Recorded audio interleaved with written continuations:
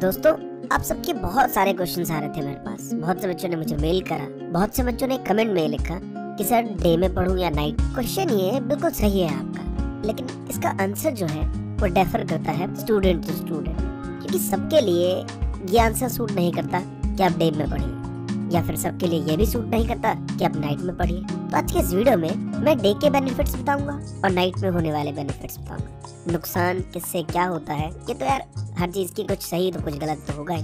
तो वो समय पे छोड़ते हैं, उसकी वीडियोस में बाद में बताऊँगा। बट दोनों के अपने बेनिफिट्स तो हैं। पर ये बात आप टाल नहीं सकते। तो आज के इस वीडियो में इसी विषय में हम बात करें तो सबसे पहले बात करते हैं कि मॉर्निंग में पढ़ने के क्या क्या बेनिफिट्स हैं।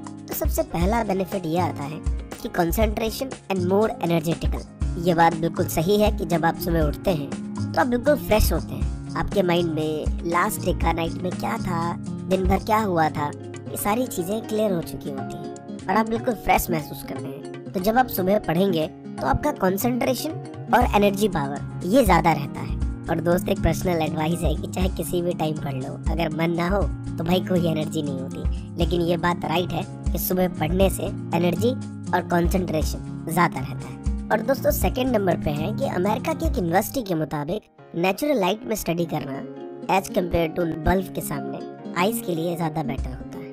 तो ये ज़रूरी नहीं कि हर एक के लिए पॉसिबल है बट अगर आप डे में पढ़ते हैं तो ये बेनिफिट आपके साथ है। उसके बाद है, अगर आप ग्रुप स्टडी करना चाहते हैं तो मेरी खुद की स्टडी और जितने भी टीचर्स या स्टूडेंट्स उनसे मैंने पूछा है उन्होंने कहा है कि डे में ग्रुप स्टडी करना ज़्यादा बेटर होता है एज कंपेयर टू नाइट क्योंकि प्रॉब्लम क्या है ग्रुप स्टडी की? ग्रुप स्टडी में आप चुपचाप रह के नहीं पढ़ सकते। वहाँ बोलना पड़ता है, दूसरे से पूछना पड़ता है।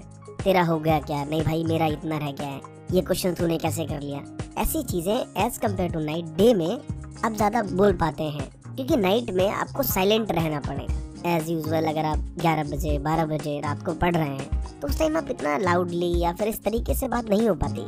इस वजह से ग्रुप स्टडी जो है वो ज़्यादा बेटर होती है डे में। और नेक्स्ट है कि अगर आप सुबह उठ के पढ़ते हैं तो ये आपकी हेल्थ के लिए बहुत ही इफ़ेक्टिव रहता है। ये बात रियलिटी है। एज कंपेयर टू नाइट सुबह उठ के पढ़ना, क्योंकि सुबह उठने के बाद आप बहुत सी चीज़ें कर सकते हैं। अगर आप सुबह जल्दी उठ पाते हैं तो आप सोचेंगे कि चले यार, सुबह थोड़ा सा मेडिटेशन कर लो, या फिर थोड़ा एक्सरसाइज कर लो जिम चला जाओ ऐसी चीज़ें आपकी हेल्थ के लिए बहुत ज़्यादा एफिशिएंट होती हैं, क्योंकि ये कहीं ना कहीं प्रोडक्टिव को बढ़ाती हैं। मीन्स कि जहाँ आपकी कैपेसिटी एक घंटे में इतने चैप्टर लर्न करने की थी, वहाँ ऐसी एक्सरसाइज ऐसी मेडिटेशन करके उसी एक घंटे में आप दो चैप्टर पढ़ने की कैपेसिटी बना सकते हैं। अब बात करते हैं दोस्तों नाइट में स्टडी की। नाइट स्टडी करना एक स्टूडेंट के लिए ज़रूरत बन गया है या फिर हैबिचुअल हो गया, आप दोनों कह सकते हैं। रीजन इज़ दैट अगर आप कॉम्पिटेटिव के स्टूडेंट्स हैं तो होता क्या है सिचुएशन में? आपकी क्लासेस होती हैं इवनिंग तक, फिर आपको उसके रिगार्डिंग होमवर्क करना है। क्योंकि इतने सारे आपने सुबह से लेके अलग अलग कोचिंग्स कवर करी हैं, उन सब का रिवीजन करना बहुत ज़रूरी है। तो ये सारी चीज़ें लेट नाइट हो जाती हैं।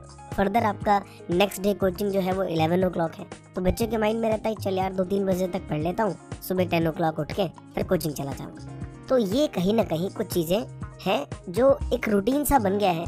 हैबिचुअल हम नहीं थे, लेकिन उस चीज़ में हमें ढलना पड़ा, क्योंकि हमारा कोचिंग सेंटर्स या फिर हमारा स्कूल का टाइमिंग कुछ इस टाइप का था। तो नाइट्स में स्टडी करने के भी अपने अलग बेनिफिट्स हैं। यहाँ पे आपको सबसे पहली चीज़ कि साइलेंस बहुत मिलता है। As compared to morning night में आपको साइलेंस ज़्यादा रहता है। दूसरी बात कि यहाँ पे आप अपने करियर के रिगार्डिंग अपने सब्जेक्ट के रिगार्डिंग बहुत कुछ नया सोच सकते हैं। लंदन में हुई एक रिसर्च के मुताबिक ये पाया गया कि जो लोग नाइट में सोचते हैं या फिर अपने बिज़नेस से रिलेटेड बहुत सारी एक्टिविटी करते हैं एज कंपेयर टू डे वो ज़्यादा प्रोग्रेसिव होते हैं, उनका बिज़नेस ज़्यादा ग्रो करता है, उनका प्रोफेशन सही तरीके से चलता है। मीन्स कि नाइट में सोचना, कहीं ना कहीं आपकी बिज़नेस प्रोफेशन स्टडी इन सब में ग्रोथ दिलाता है। ये बात कितनी सही है नहीं, आप इसे यूज़ करके देख सकते का रूटीन आपके स्कूल का रूटीन आपके कोचिंग सेंटर का रूटीन अगर उस टाइप का है तो आपको ढलने में टाइम नहीं लगेगा। हमेशा ये कंप्लेन होती है कि नहीं यार, मैं सुबह नहीं पढ़ सकता, या फिर नहीं यार, मैं नाइट में नहीं पढ़ सकता।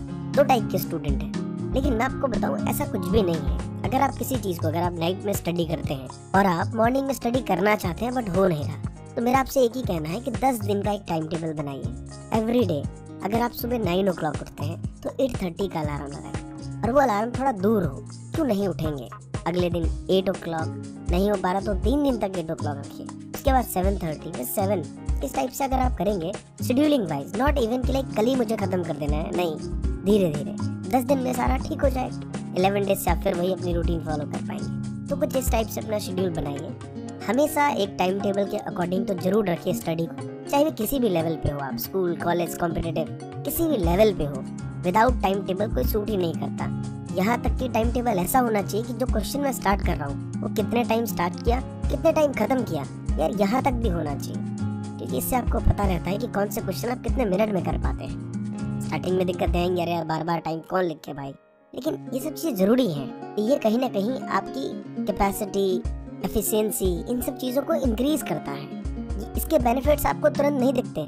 लेकिन अगर आप एट्थ क्लास में हैं टेंथ क्लास में हैं इलेवेंथ क्लास में हैं तो आने वाले दो तीन साल बाद आपको इसका बेनिफिट बहुत ज़्यादा मिलेगा और आप बहुत प्राउड फील करेंगे अपने आप पे कि हाँ यार ये चीज़ मेरे अंदर ये क्वालिटी है, जिससे मैं बाकी सबसे ज़्यादा अच्छे से कर पाता हूँ और बहुत जल्दी समझ पाता हूँ। तो शुरुआत में मैंने कुछ एक आध बेनिफिट्स बताए हैं आपको मॉर्निंग में स्टडी और नाइट में स्टडी का। ये अपना एक आंकड़ा है बट आप अपने अकॉर्डिंग